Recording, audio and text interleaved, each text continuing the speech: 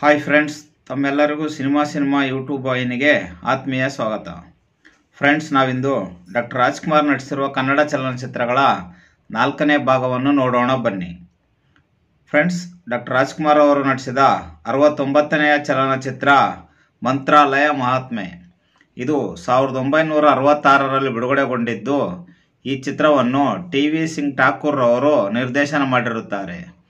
ಈ ಚಿತ್ರಕ್ಕೆ ಸಂಗೀತ ನಿರ್ದೇಶಕರು ರಾಜನ್ ನಾಗೇಂದ್ರರವರು. ಈ ಚಿತ್ರದಲ್ಲಿ ಡಾಕ್ಟರ್ ರಾಜ್ಕುಮಾರ್ ಅವರೊಂದಿಗೆ ಜಯಂತಿ, ಕಲ್ಪನಾ ಉದಯ್ ಕುಮಾರ್ ಇನ್ನು ಮುಂತಾದವರು ನಟಿಸಿರುತ್ತಾರೆ. ಡಾಕ್ಟರ್ ರಾಜ್ಕುಮಾರ್ ಅವರು ನಟಿಸಿದ ಎಪ್ಪತ್ತನೆಯ ಚಲನಚಿತ್ರ ಕಟಾರಿ ವೀರ. ಇದು ಸಾವಿರದ ಒಂಬೈನೂರ ಅರವತ್ತಾರರಲ್ಲಿ ಬಿಡುಗಡೆಗೊಂಡಿದ್ದು, ಈ ಚಿತ್ರವನ್ನು ವೈ ಆರ್ ಸ್ವಾಮಿ ಅವರು ನಿರ್ದೇಶನ ಮಾಡಿರುತ್ತಾರೆ.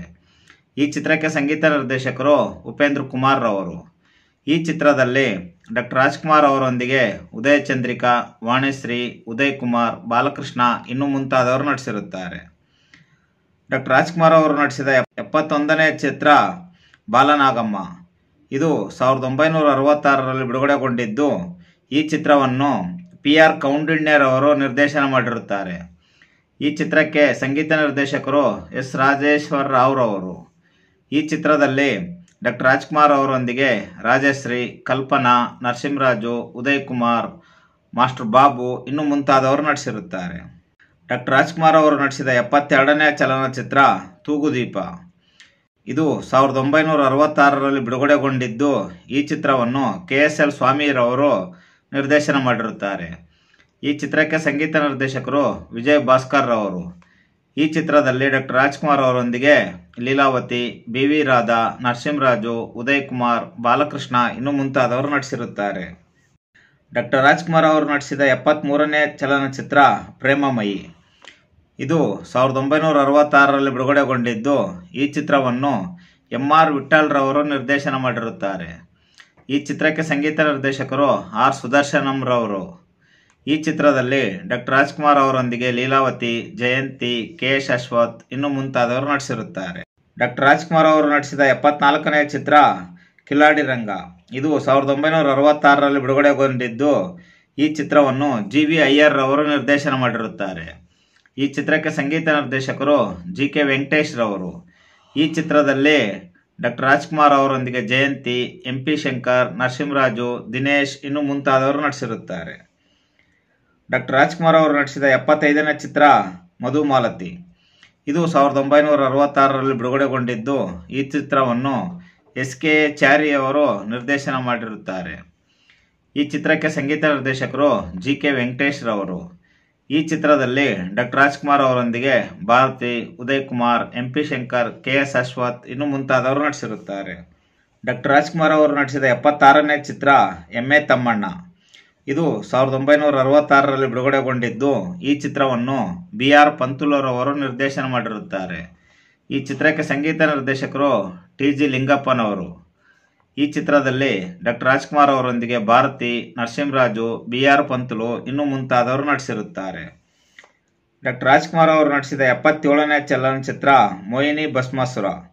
ಇದು ಸಾವಿರದ ಒಂಬೈನೂರ ಅರವತ್ತಾರರಲ್ಲಿ ಬಿಡುಗಡೆಗೊಂಡಿದ್ದು ಈ ಚಿತ್ರವನ್ನು ಎನ್ ಎಸ್ ವರ್ಮಾರವರು ನಿರ್ದೇಶನ ಮಾಡಿರುತ್ತಾರೆ.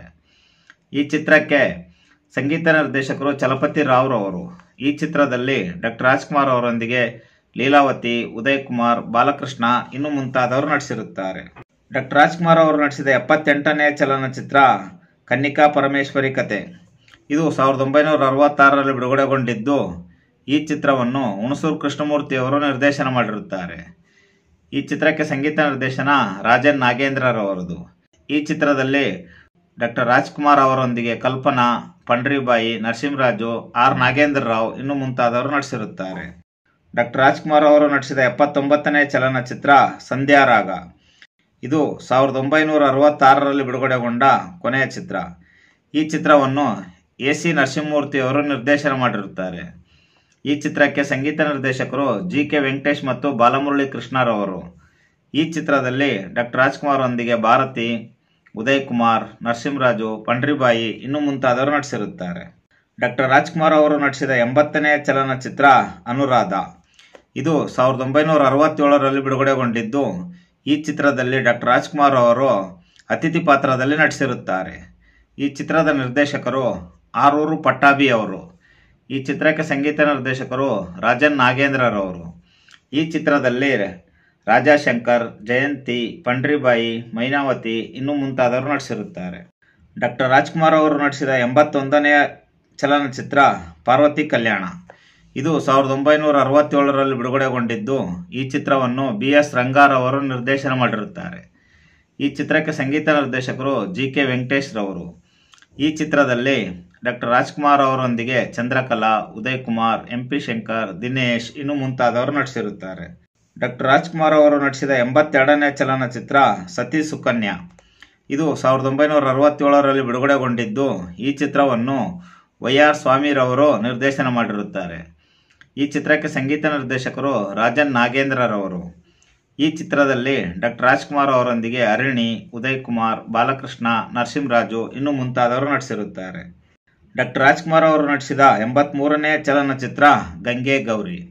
ಇದು ಸಾವಿರದ ಒಂಬೈನೂರ ಅರವತ್ತೇಳರಲ್ಲಿ ಬಿಡುಗಡೆಗೊಂಡಿದ್ದು, ಈ ಚಿತ್ರವನ್ನು ಬಿ ಆರ್ ಪಂತುಲೂರು ಅವರು ನಿರ್ದೇಶನ ಮಾಡಿರುತ್ತಾರೆ. ಈ ಚಿತ್ರಕ್ಕೆ ಸಂಗೀತ ನಿರ್ದೇಶಕರು ಟಿ ಜಿ ಲಿಂಗಪ್ಪನವರು. ಈ ಚಿತ್ರದಲ್ಲಿ ಡಾಕ್ಟರ್ ರಾಜ್ಕುಮಾರ್ ಅವರೊಂದಿಗೆ ಭಾರತಿ, ಲೀಲಾವತಿ ಎಂ ಪಿ ಶಂಕರ್, ನರಸಿಂಹರಾಜು ಇನ್ನು ಮುಂತಾದವರು ನಟಿಸಿರುತ್ತಾರೆ. ಡಾಕ್ಟರ್ ರಾಜ್ಕುಮಾರ್ ಅವರು ನಟಿಸಿದ ಎಂಬತ್ನಾಲ್ಕನೇ ಚಲನಚಿತ್ರ ರಾಜಶೇಖರ. ಇದು ಸಾವಿರದ ಒಂಬೈನೂರ ಅರವತ್ತೇಳರಲ್ಲಿ ಬಿಡುಗಡೆಗೊಂಡಿದ್ದು, ಈ ಚಿತ್ರವನ್ನು ಜಿ ವಿ ಅಯ್ಯರ್ ಅವರು ನಿರ್ದೇಶನ ಮಾಡಿರುತ್ತಾರೆ. ಈ ಚಿತ್ರಕ್ಕೆ ಸಂಗೀತ ನಿರ್ದೇಶಕರು ಜಿ ಕೆ ವೆಂಕಟೇಶ್ ರವರು ಈ ಚಿತ್ರದಲ್ಲಿ ರಾಜ್ಕುಮಾರ್ ಅವರೊಂದಿಗೆ ಭಾರತಿ ಉದಯ್ ಕುಮಾರ್ ಬಾಲಕೃಷ್ಣ, ನರಸಿಂಹರಾಜು ಇನ್ನು ಮುಂತಾದವರು ನಟಿಸಿರುತ್ತಾರೆ. ಡಾಕ್ಟರ್ ರಾಜ್ಕುಮಾರ್ ಅವರು ನಟಿಸಿದ ಎಂಬತ್ತೈದನೇ ಚಲನಚಿತ್ರ ಲಗ್ನ ಪತ್ರಿಕೆ. ಇದು ಸಾವಿರದ ಒಂಬೈನೂರ ಅರವತ್ತೇಳರಲ್ಲಿ ಬಿಡುಗಡೆಗೊಂಡಿದ್ದು, ಈ ಚಿತ್ರವನ್ನು ಕೆ ಎಸ್ ಎಲ್ ಸ್ವಾಮಿರವರು ನಿರ್ದೇಶನ ಮಾಡಿರುತ್ತಾರೆ. ಈ ಚಿತ್ರಕ್ಕೆ ಸಂಗೀತ ನಿರ್ದೇಶಕರು ವಿಜಯ್ ಭಾಸ್ಕರ್ ರವರು. ಈ ಚಿತ್ರದಲ್ಲಿ ಡಾಕ್ಟರ್ ರಾಜ್ಕುಮಾರ್ ಅವರೊಂದಿಗೆ ಜಯಂತಿ, ದ್ವಾರ್ಕೀಶ್, ಶಿವರಾಮ್ ಚಿ ಉದಯಶಂಕರ್, ನರಸಿಂಹರಾಜು ಇನ್ನು ಮುಂತಾದವರು ನಟಿಸಿರುತ್ತಾರೆ. ಡಾಕ್ಟರ್ ರಾಜ್ಕುಮಾರ್ ಅವರು ನಟಿಸಿದ ಎಂಬತ್ತಾರನೇ ಚಲನಚಿತ್ರ ರಾಜದುರ್ಗ ರಹಸ್ಯ. ಇದು ಸಾವಿರದ ಒಂಬೈನೂರ ಅರವತ್ತೇಳರಲ್ಲಿ ಬಿಡುಗಡೆಗೊಂಡಿದ್ದು, ಈ ಚಿತ್ರವನ್ನು ಎ ಸಿ ನರಸಿಂಹಮೂರ್ತಿ ಮತ್ತು ಎಸ್ ಕೆ ಭಗವಾನ್ ರವರು ನಿರ್ದೇಶನ ಮಾಡಿರುತ್ತಾರೆ. ಈ ಚಿತ್ರಕ್ಕೆ ಸಂಗೀತ ನಿರ್ದೇಶಕರು ಜಿ ಕೆ ವೆಂಕಟೇಶ್ ರವರು. ಈ ಚಿತ್ರದಲ್ಲಿ ಡಾಕ್ಟರ್ ರಾಜ್ಕುಮಾರ್ ಅವರೊಂದಿಗೆ ಭಾರತಿ ಉದಯ್ ಕುಮಾರ್ ದಿನೇಶ್, ನರಸಿಂಹರಾಜು ಇನ್ನು ಮುಂತಾದವರು ನಟಿಸಿರುತ್ತಾರೆ. ಡಾಕ್ಟರ್ ರಾಜ್ಕುಮಾರ್ ಅವರು ನಟಿಸಿದ ಎಂಬತ್ತೇಳನೇ ಚಲನಚಿತ್ರ ದೇವರ ಗೆದ್ದ ಮಾನವ. ಇದು ಸಾವಿರದ ಒಂಬೈನೂರ ಅರವತ್ತೇಳರಲ್ಲಿ ಬಿಡುಗಡೆಗೊಂಡಿದ್ದು, ಈ ಚಿತ್ರವನ್ನು ಹುಣಸೂರು ಕೃಷ್ಣಮೂರ್ತಿಯವರು ನಿರ್ದೇಶನ ಮಾಡಿರುತ್ತಾರೆ. ಈ ಚಿತ್ರಕ್ಕೆ ಸಂಗೀತ ನಿರ್ದೇಶಕರು ರಾಜನ್ ನಾಗೇಂದ್ರರವರು. ಈ ಚಿತ್ರದಲ್ಲಿ ಡಾಕ್ಟರ್ ರಾಜ್ಕುಮಾರ್ ಅವರೊಂದಿಗೆ ವಿಜಯಲಲಿತಾ ಶೈಲಶ್ರೀ, ಎಂ ಪಿ ಶಂಕರ್, ನರಸಿಂಹರಾಜು ಇನ್ನೂ ಮುಂತಾದವರು ನಟಿಸಿರುತ್ತಾರೆ. ಡಾಕ್ಟರ್ ರಾಜ್ಕುಮಾರ್ ಅವರು ನಟಿಸಿದ ಎಂಬತ್ತೆಂಟನೇ ಚಲನಚಿತ್ರ ಬೀದಿ ಬಸವಣ್ಣ. ಇದು ಸಾವಿರದ ಒಂಬೈನೂರ ಅರವತ್ತೇಳರಲ್ಲಿ ಬಿಡುಗಡೆಗೊಂಡಿದ್ದು ಈ ಚಿತ್ರವನ್ನು ಬಿ ಆರ್ ಪಂತುಲೂರ್ ಅವರು ನಿರ್ದೇಶನ ಮಾಡಿರುತ್ತಾರೆ. ಈ ಚಿತ್ರಕ್ಕೆ ಸಂಗೀತ ನಿರ್ದೇಶಕರು ಟಿ ಜಿ ಲಿಂಗಪ್ಪನವರು ಈ ಚಿತ್ರದಲ್ಲಿ ಡಾಕ್ಟರ್ ರಾಜ್ಕುಮಾರ್ ಅವರೊಂದಿಗೆ ಭಾರತಿ, ವಿಜಯಲಕ್ಷ್ಮಿ ಬಿ ಆರ್ ಪಂತುಲು, ನರಸಿಂಹರಾಜು ಇನ್ನು ಮುಂತಾದವರು ನಟಿಸಿರುತ್ತಾರೆ. ಡಾಕ್ಟರ್ ರಾಜ್ಕುಮಾರ್ ಅವರು ನಟಿಸಿದ ಎಂಬತ್ತೊಂಬತ್ತನೇ ಚಲನಚಿತ್ರ ಮನಸ್ಸಿದ್ದರೆ ಮಾರ್ಗ. ಇದು ಸಾವಿರದ ಒಂಬೈನೂರ ಅರವತ್ತೇಳರಲ್ಲಿ ಬಿಡುಗಡೆಗೊಂಡಿದ್ದು, ಈ ಚಿತ್ರವನ್ನು ಎಂ ಆರ್ ವಿಠಲ್ರವರು ನಿರ್ದೇಶನ ಮಾಡಿರುತ್ತಾರೆ. ಈ ಚಿತ್ರಕ್ಕೆ ಸಂಗೀತ ನಿರ್ದೇಶಕರು ಎಂ ರಂಗರಾವ್ರವರು ಈ ಚಿತ್ರದಲ್ಲಿ ಡಾಕ್ಟರ್ ರಾಜ್ಕುಮಾರ್ ಅವರೊಂದಿಗೆ ರಾಜಾಶಂಕರ್ ಜಯಂತಿ ಉದಯ ಚಂದ್ರಿಕಾ ನರಸಿಂಹರಾಜು ಇನ್ನು ಮುಂತಾದವರು ನಟಿಸಿರುತ್ತಾರೆ.